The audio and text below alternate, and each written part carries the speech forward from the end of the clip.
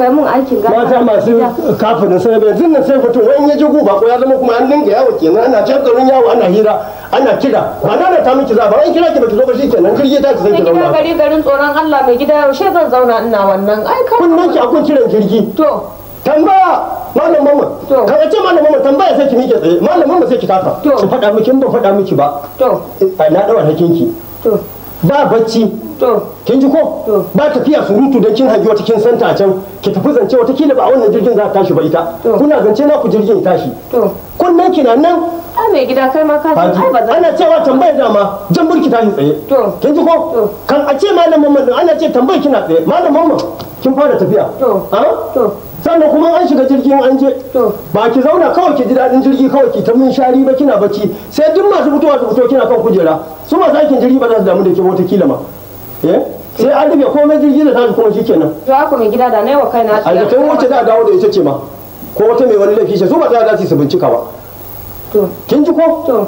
Banda bacci. To. Abin da ya kai ku a yi aje a yi. To. Banda kuma daga zuwa an yi canji a fara sayayya. A haka ne mana. Daga yi ku wani ku fitarwa da an yi canji. To mai gida na yi haƙuri tukuna ban gama aikin maka ba sai ban ce ku so komai na kayan wani ko- abin nan ba. Ku ciwo abinci ku je ku yi sallah ku yi mana addu'a Allah kai mu baɗi. Dan da muka je da ni ga ni ga kishi kenan abin da za ku sa sai an sai sai a saya to mai gida to Allah dai ibada sa'a. Kin ji ko? Allah ubangiji i taimake mu. To in Allah ya da mai gida duk roƙon nan zan yi. In Allah ya da in Allah ya da sai ka zama madam sai ka zama namijin gaske.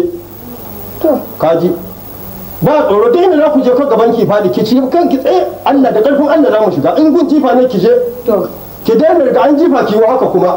Sai a fasa miki ido. Ana jifa dama haka ke fitowar jifa. Kin ga? To. Akai a dan sun kai kadan amma kina wai wai haka sai wani ya rafsa miki har da takalmi suke wanda zuwa waye. To. Ni na taba ganin irin wannan sha'ani haka. To. Allah Allah ya kiyaye Allah kai ku lafiya ya kawo ku to. A gafarce ni dai mai gida. Ba komai. To mai gida na tafi.